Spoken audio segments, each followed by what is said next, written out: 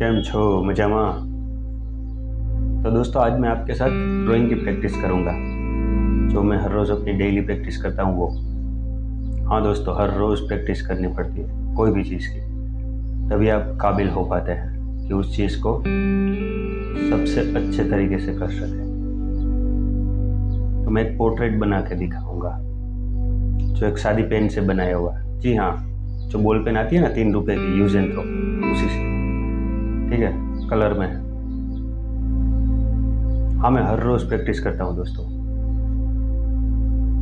तभी आप मास्टर बन पाते हैं।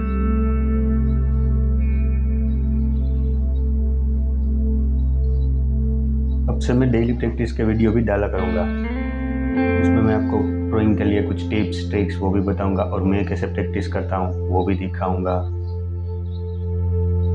और मेरी ड्राइंग बुक जो मैंने पहले प्रैक्टिस की हुई है हज़ारों स्केचेस की, वो भी दिखाऊँगा। ठीक है? कोई भी पोर्ट्रेट बनाना ना तो पहले आईब्रो से शुरू करना होता है। फिर नोज़ फिर मुँह, फिर कान, फिर हेयर लाइन इस स्टेप में आगे बढ़ते हैं। देखते जाइए। सबसे ज़्यादा कैसे सीख सकते हैं आप, मालूम है? देख के। किसी को काम करता हुआ देख के आप जल्दी से सीख सकते हैं। तो वही मैं कर रहा हूँ। आपको दिखा रहा हूँ कि कैसे ड्राइंग एक अच्छा ड्राइंग बनता है पोर्ट्रेट का। देखिए और सीखिए।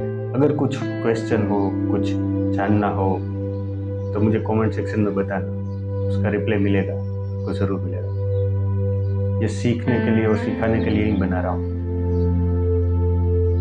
अपने जो भी प्रश्न हो पूछना ठीक है?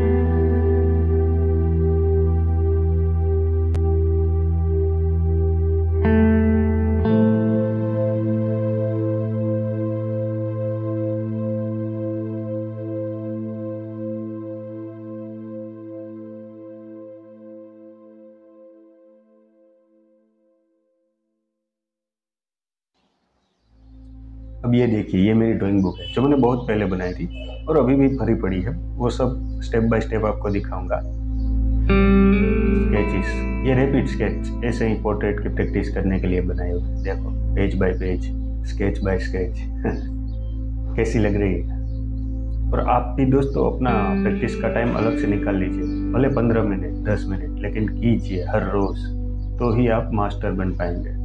हर रोज कभी भी, जब भी टाइम मिले, दस मिनट, पंद्रह मिनट, कम से कम इतना तो निकाल ही सकते हैं ना, अपने पैशन के लिए हॉबी के लिए, ठीक है? तो चलिए, कोई भी प्रश्न हो तो नीचे कमेंट सेक्शन में पूछना, ज़रूर पूछना। ऐसे वीडियो मिलते रहेंगे आपको। और वीडियो में कुछ चेंजेस करने हो तो वो भी बताना कि अमित भाई, इसको ऐसे कीजिए, इसको ऐसे कीजिए, ठीक है? मुझे ठीक लगेगा तो वो भी कर दूँगा। भले, आओ जो